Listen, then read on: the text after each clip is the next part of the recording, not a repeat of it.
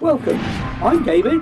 I'm Lindsay, And, and this is Desmond's Donders.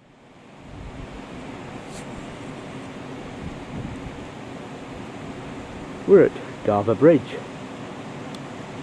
And as far as anything in life is guaranteed, you come to Garva Bridge to see the deer.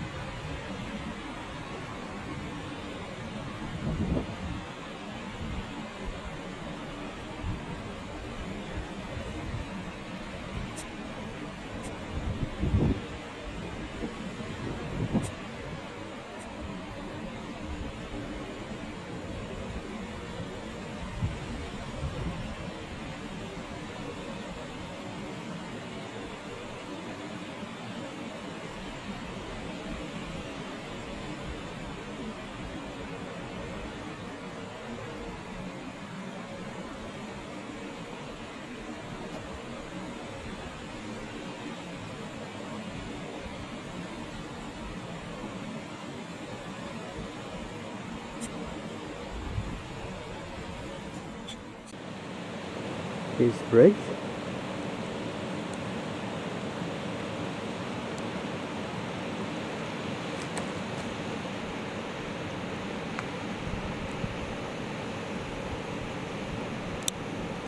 And here is more of the River Spey.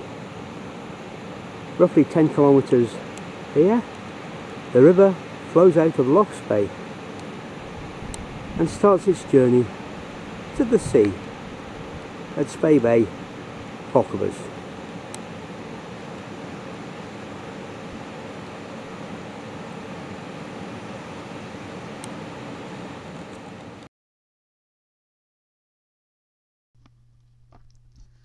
General Wade's first double arched bridge carries the military road from Dalwhinnie, Laggan to Fort Augustus via the Corrieyairack Pass, which commences at Garva. General Wade named the bridge St George's Bridge, though that name is now rarely used. It was formerly a scheduled monument and it was scheduled on 24th of the 5th 1971 and descheduled on 23rd of the 3rd 2016. It's a twin arch rubble bridge with long centre section between arches, springing from rocky outcrop in the centre of the river. There are tooled rubble arch rings and parapet cope, heavy rubble buttresses to both sides and iron repair braces to the arches. Each arch is 45 feet and the length of the bridge overall is 180 feet.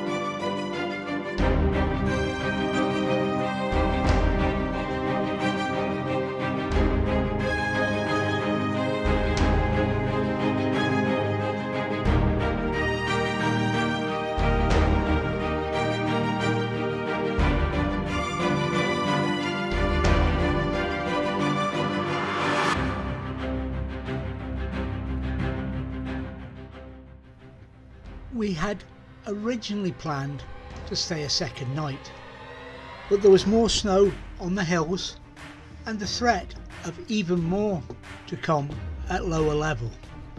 So we decided to move on, make our way back down the, the winding road to Garvamore and to find somewhere more suitable. It's a shame really because as you're about to see, the weather improved not long before we drove off.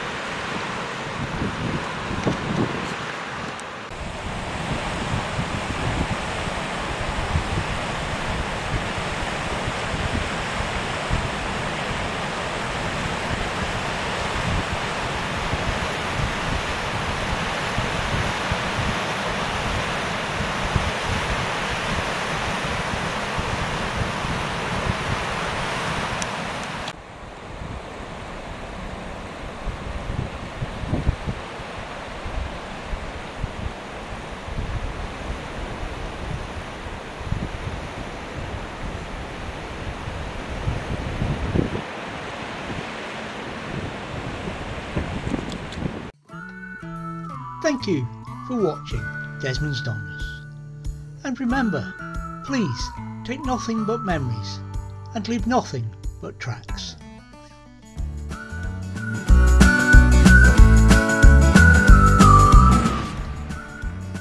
Please subscribe and ring the bell for notifications and hopefully we'll see you next time.